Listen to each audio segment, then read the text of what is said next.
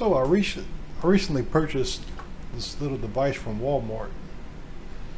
It's a mini plug-in Wi-Fi smart switch and it's made by Enbrighten.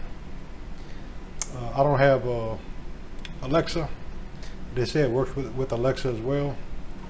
But um, it comes with a little app. This is this is an iPhone SE, and this, my light's right here, and this is the, this is the hub.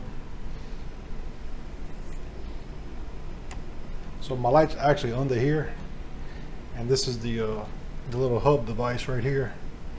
Now it does have an on and off switch on the left side of it, so you can turn on and off a light with just pressing the switch, like a conventional light switch. And then there's a there's also the app that that you can download and put on. This is the iPhone SE, and basically once it's uh once it's set up, you can hit the power button on your on the app to turn your light on and off. And this actually works through my uh, internet service, not through Bluetooth, but through the uh, internet. Uh, so I could be anywhere, as long as my internet's on at home, I can turn on and turn off the light, which is pretty cool. But most of the time, I'll probably just end up using the switch that's built onto it. That's really all I got it for. The uh, the light I got was a little small, a 24 inch, uh, and it has one of those little click switches on it.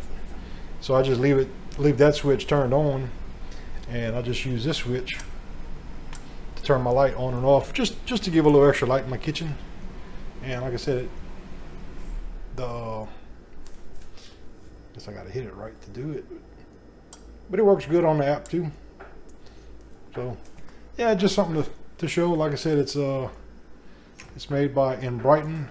I think it was about ten dollars, and you you can do like a, a, a timer settings using the app and whatnot. But I'm I'm not doing any any of that. 2.4 gig. It looks like it's the band it works on on my uh, Wi-Fi. So yeah, pretty neat.